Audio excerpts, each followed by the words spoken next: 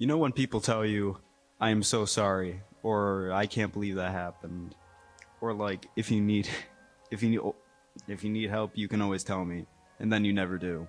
I always hate these responses, like there's nothing else they could say. I have no best friends or best mates, just friends.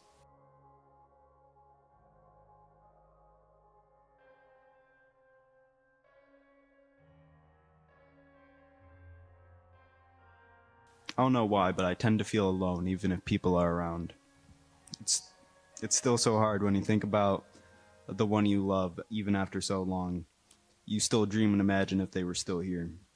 Poncho was always there for me.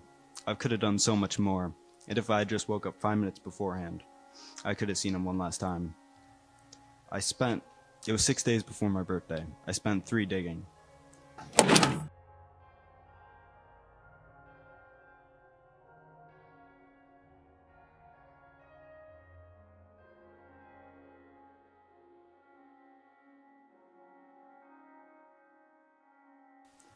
I just want my legacy to live alongside his.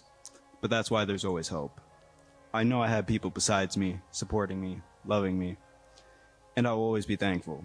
But you have to be sad before you can be happy.